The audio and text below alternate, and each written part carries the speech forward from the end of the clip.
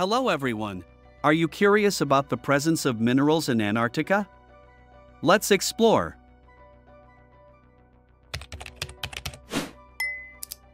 Antarctica, the coldest, driest, windiest, and most remote continent on Earth, holds a wealth of geological secrets beneath its icy surface. While often associated with ice and snow, Antarctica is also home to a diverse range of minerals, some of which have economic significance and potential for exploitation. From coal and iron ore to copper and gold, Antarctica contains a variety of mineral resources that have attracted the interest of scientists, explorers, and resource companies alike. However, the harsh and inhospitable environment of Antarctica, coupled with legal and environmental protections that restrict mineral exploration and mining, pose significant challenges to unlocking the continent's mineral wealth. One of the most abundant mineral resources in Antarctica is coal, a fossil fuel formed from the remains of ancient plants and organic matter that accumulated in swamps and marshes millions of years ago. Coal deposits are found in several regions of Antarctica, including the Transantarctic Mountains, the Ellsworth Mountains, and the Antarctic Peninsula, where geological formations dating back to the Permian and Triassic periods contain layers of coal-bearing rocks. These coal deposits vary in size and quality, ranging from lignite and subbituminous coal to bituminous and anthracite coal, with estimated reserves totaling several billion metric tons. Coal has long been recognized as a potential energy resource in Antarctica, with early explorers and expeditions noting the presence of coal seams and outcrops in various parts of the continent. In the early 20th century, several countries, including the United Kingdom, Norway, and the United States, established coal mining operations in Antarctica to supply their research stations and expeditions with fuel for heating, cooking, and power generation.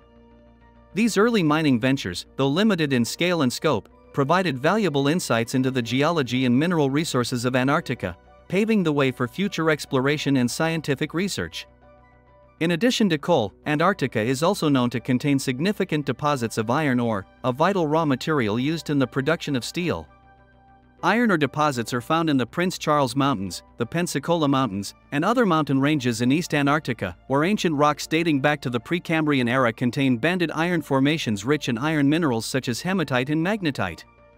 These iron ore deposits, though relatively small compared to those found in other parts of the world, have attracted interest from geologists and mining companies seeking to assess their economic potential. Copper is another important mineral resource found in Antarctica, with deposits occurring in association with volcanic rocks and mineralized zones in the Transantarctic Mountains and other mountain ranges in West Antarctica. These copper deposits, formed through the intrusion of magma into the Earth's crust and subsequent hydrothermal activity, contain sulfide minerals such as chalcopyrite, bornite, and chalcocite, which are rich in copper and other metals.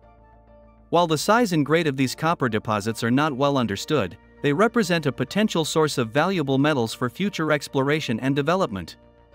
In addition to coal, iron ore, and copper, Antarctica is also known to contain other mineral resources, including nickel, platinum, chromium, and gold, though the extent and economic significance of these deposits are less well documented. Geological surveys and exploratory drilling programs conducted in Antarctica have identified occurrences of these and other minerals in various parts of the continent, indicating the potential for further discoveries in the future. However, the harsh climate, rugged terrain, and thick ice cover of Antarctica make it difficult and expensive to explore for minerals, requiring specialized equipment, logistics, and expertise.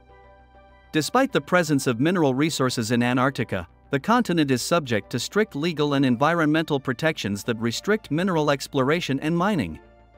Antarctica is governed by the Antarctic Treaty System, an international agreement that prohibits mineral exploitation and ensures the protection of the continent's unique environment and ecosystems. The Protocol on Environmental Protection to the Antarctic Treaty, adopted in 1991, further strengthens these protections by establishing strict environmental standards and regulations for activities in Antarctica, including mining and mineral exploration.